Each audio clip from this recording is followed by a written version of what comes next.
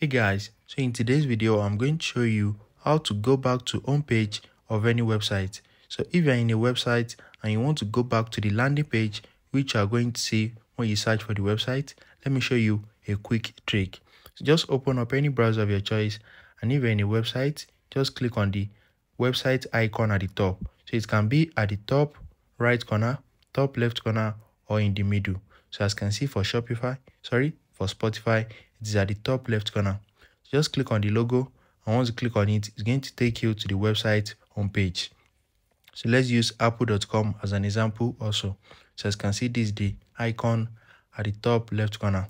So if you click on it it's going to take you to the landing or the home page so let's use ebay as another example. So if you click on this ebay icon it's going to take you to the home page or the landing page and you can do this for any website. You're going to see the icon at the top right corner top left corner or in the middle.